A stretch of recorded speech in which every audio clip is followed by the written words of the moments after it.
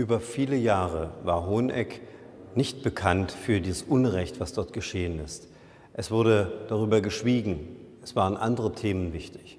Und es ist äh, Ihrem Verband zu verdanken, dass das anders geworden ist und dass die Geschichte der Frauen von Hoheneck, von derjenigen, die selbst äh, Opfer des Unrechts wurden oder die ähm, verheiratet waren, in Partnerschaft gelebt haben mit Menschen, die durch die SED-Diktatur so sehr ins Unrecht gesetzt worden äh, sind, dass dieses Schicksal aufgearbeitet wird.